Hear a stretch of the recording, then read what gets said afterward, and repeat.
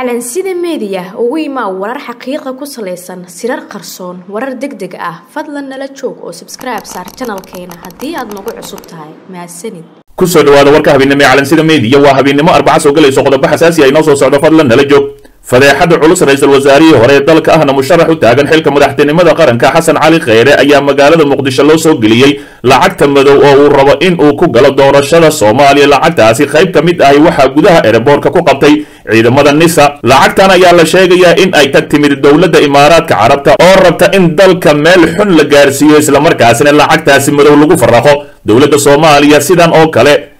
ayay sheegtay in bishii abriil ee sannadkii laba kun iyo siddeed iyo tobankii ay gacanta ku dhigtay lacag ay dowladda imaaraadka carabta ka soo dejisay garoonka diyaaradaha aadan cadda ee magaalada muqdisho taas oo keentay inuu xumaado xiriirka labada dal waxayna imaaraadka carabta joojisay tababaradii ay siin jirtay ciidamada soomaaliya iyadoo sidoo kale xirtay isbitaal si lacag la'aan ahi dadka loogu daaweyn jiray oo ku yaalla magaalada muqdisho. Xasan cali kheyre ayaa ahaa saddex sano ra'iisul wasaaraha dalka waxa uuna dalka ka geystay dembiyo aad u fara badan waxa uunu dhibaateeyey shacabka soomaaliyeed. Sidoo kale waxa uu ku xadgudbay dastuurka dalka iyo musuq maasuq xooggan ayuu sameeyey dadka soomaaliyeed waxay wada xusuustaan qaladaadkii ka dhacay saddexdii sano ee uu xil ka hayay ra'iisul wasaarihii hore xukuumadda federaalk xasan cali kheyre. Haddii aan calansida meediya nahay warbixintayna maaha caadifad ee waa mid aan ku tilmaamayno siyaasiga qaldama. Waa in loo sheegaa qaladaadkiisa iyo waxyaabaha ka qaldamay iyo ballankii uu qaaday in uu fulin waayo. Waa wax aan suuragal ahayn inuu si qaldan isaga dhaadhiciyo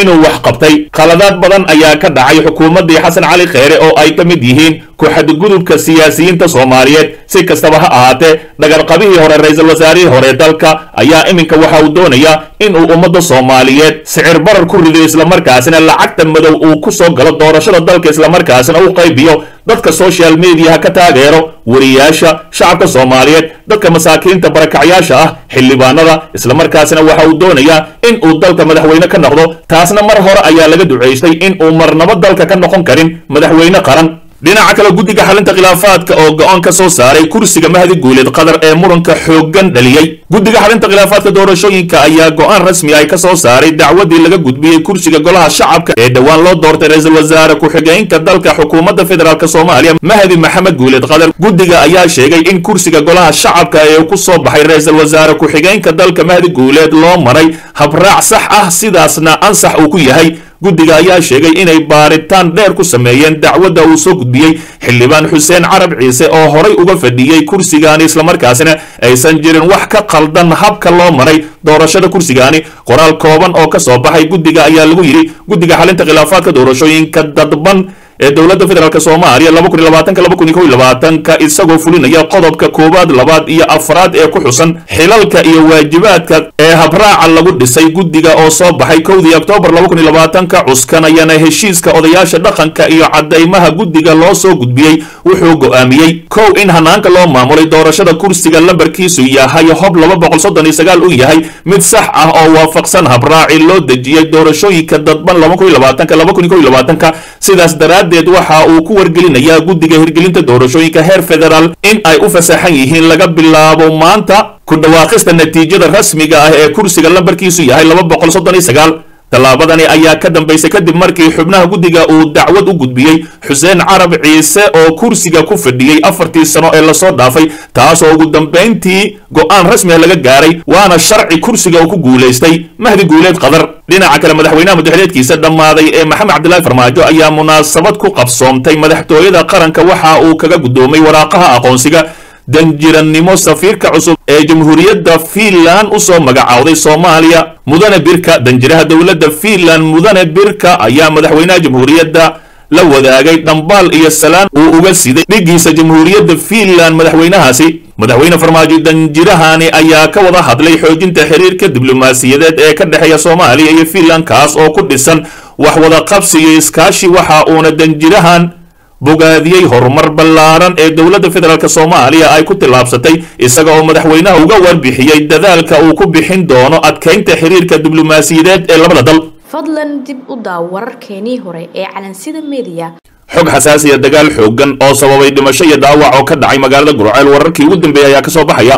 faahfaahinno dheeraada ayaa waxaa laga helayaa khasaaraha ka dhashay dagaal kooban oo baraqanimadii maanta ka dhacay gudaha degmada gurceel ee gobolka galgaduud oo ay dhowaan la wareegeen ciidamada dowladda soomaaliya iyo kuwa galmudug. Iska horimaadkani ayaa waxaa lagu soo warramayaa inuu u dhexeeyey ciidamo ka wada tirsan kuwa ammaanka kuwaasi oo muran soo kala dhex galay kadib israsaaseeyey wararka ayaa sheegaya in dagaalka uu ka dhashay kadib markii ay ciidamadu isku qabteen kaarar loo qaybinayay dad shacab ahaa oo raashin la siinayay kuwaasi oo ka mid ahaa qoysaskii ay saameeyeen dagaaladii dhowaan ka dhacay gudaha magaalada gurceel islamarkaasina boqolaal kun oo qofood ay ka barakaceen.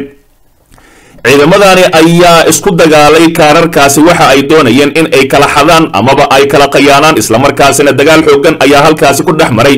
Inta la xaqiijiyey waxaa dagaalkaani ku dhintay ugu yaraan hal askari iyadoo ay ku dhaawacantay haweenay ka mid ahayd dadka deegaanka taas oo loola cararay isbitaalka guud ee magaalada gurceel xaaladda goobta lagu dagaalamay ayaa haatan degan waxaana gaaray saraakiil sarsare oo laamaha ammaanka ka tirsan oo ku baxay xiisadii halkaasi ka dhalatay si loo qabuujiyo ma jiro ilaa iyo hadda wax faahfaahin ah oo ay mas'uuliyiinta degmada ka bixiyeen. Shaqaaqadaasi dhalisay khasaaraha kala duwan. Guriceel oo laga saaray ahlu sunna wal-jameeca ayaa waxaa horay uga dhacay. Dagaallo qaraar oo ay ku dhinteen saraakiil sarsare askar labada dhinac ah iyo dad shacab ah oo aan waxba galabsan si kastaba ha ahaatee askartii u qaybinaysay kaararka dadka masaakiinta ahaa ee ka barakacay gurceel ayay isku dagaaleen. Waxa ayna doonayeen in ay kala xadaan ama ay kala qayaanaan. Dhinaca kale ahlu sunna oo raadinaysa doorkii madaxa xukuumadda galmudug ee la baabi'iyey guddoomiyaha guud ee ahlu sunna wal-jameeca macalin maxamuud sheekh xasan faarax ayaa arrimo badan uga hadlay waraysi uu siiyey laanta afka soomaaliga ee b b c da mowduuca diiradda la saareeyey waxa uu ahaa mowqifkiisa ku aadan xaaladda galmudug kadib dagaaladii dhowaan gurceel ku dhex maray. Ciidamada ahlu sunna iyo kuwa maamulka galmudug oo gacan ka helaya ciidamada dowladda federaalk soomaaliya. Ciidamada dowladda federaalk soomaaliya dagaalkaasi ayaa soo idlaaday kadib markii xoogaga ahlu sunna ay ka baxeen magaalada gurceel oo ahayd halka lagu dagaalamay waxaana wixii xilligaasi ka dambeeyey ay hoggaanka ahlu sunna sheegeen in qorshahooda uu yahay in ay sii wadi doonaan fikirkii ay ku shaqaynayeen iyo qaabkii ay u shaqaynayeen oo ahayd inay dadkooda iyo shacabkooda u hiiliyaan mar kasta oo ay uga baahdaan. Macalin maxamuud oo nasiib darro ku tilmaamay dagaaladii khasaaraha dhaliyey ee ka dhacay gurceel ayaa sheegay in ay joogaan bannaanka magaalada gurceel islamarkaasina ay wadahadal uga baxeen magaalada haddana uusan jirin wadahadal socda. Ahlu sunna gurceel way u dhowdahay meel bay joogtaa waxayna ku baxday codsi uga yimid culimmada islaamka oo ahlu sunna wal-jameeca ah iyo dad madax ah ayuu yidhi. Wadahadalka ayuu sheegay in ay ku galayaan laba derajo oo kale ah inay yihiin ahlu sunna iyo in ay leeyihiin doorka ra'iisul wasaarenimo ee maamul goboleedka galmudugka halka dhanka kalena ay u dhaafayaan doorka madaxweynaha ayuu yidhi. Yaa ka qaaday sheekh shaakir madaxa xukuumadda ma annaga oggolaanay oo dhahnay xilka ha la qaado hadda ayuu sidii noo yahay. Marka dowlad ayaa nahay laba dowladood oo isku yimid ayaa nahay marka labadii dowladood. Ayaan wax ku qaybsanaynaa ayuu yidhi. Wuxuu intaasi ku sii daray xalku waa in la wada fadhiisto oo qof walba xaqiisa laga hadlo. Haddii wadahadal nala gali waayo waxaan iska wadaynaa dowladnimadeennii ciddiina soo weerartana waan iska celinaynaa ayuu yidhi madaxa guud ee ahlu sunna wal-jameeca dhinaca kale doorashada kuraas ka mid ah golaha shacabka oo la qabanayo waxaa lagu wadaa in dhowaan magaalada jowhar ee caasimada dowlad goboleedka hirshabelle lagu qabto doorashada saddex ka mid ah kuraasta golaha shacabka ee deegaan doorashadooda tahay hirshabelle saddexda kursi ee doorashadooda la qabanayo ayaa wararka aan helayna waxa ay sheegayaan inay tahay kuraasta ugu adag ee hirshabelle gaar ahaan kuwa deegaan doorashadooda tahay gobolka shabeellada dhexe. Saacadaha soo socda ayaa waxaa la filayaa in guddiga doorashada maamulka hirshabelle inay soo saaraan jadwalka doorashada saddexda kursi ee golaha shacabka. Sidoo kale waxaa saacadaha soo socda magaalada jowhar ku wajahan. Xubno ka mid ah guddiga doorashooyinka heer federaal kuwaasi oo korjoogto ka noqon doona doorashada kuraasta golaha shacabka. Dhowaan waxaa magaalada muqdisho lagu qabtay doorashada laba ka mid ahay kuraasta ugu horeysay ee golaha shacabka kuwaasi oo deegaan doorashadoodu tahay gobollada waqooyi ee somalilan